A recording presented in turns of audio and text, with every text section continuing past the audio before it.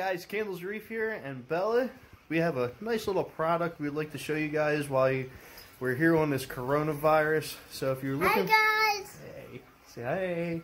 Hi. So if you guys are looking for something to do with your kids and uh, make them learn a little science project, they have this new product here And called Simple Brine.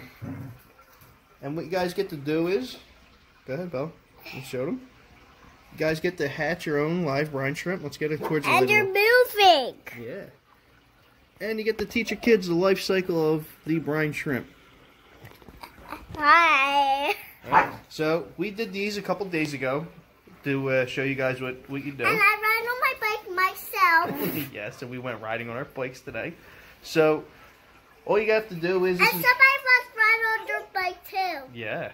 And So- person. 48 hours ago, we took a scoop out of our simple brine And here. he got little. Yeah, and they grew up in our little soup container And here. the fish is going to eat them. and you get to feed them to your fish because they're super nutritious, right? Yeah. So, guys want to try this product out, you go to algaebarn.com and uh, you can pick up this simple brine off their And website, we can crack other eggs. and you get to hatch all your eggs right around for Easter for you guys. And, And- the Easter Bunny's going to come. And you guys, if you want 15% off, use our code Candelz Reef, and you can get Comment 15% off. And that's right, comment down below and hit that thumbs up button and subscribe. They're, they're. Subscribe to our channel. Da, da, da, da, da.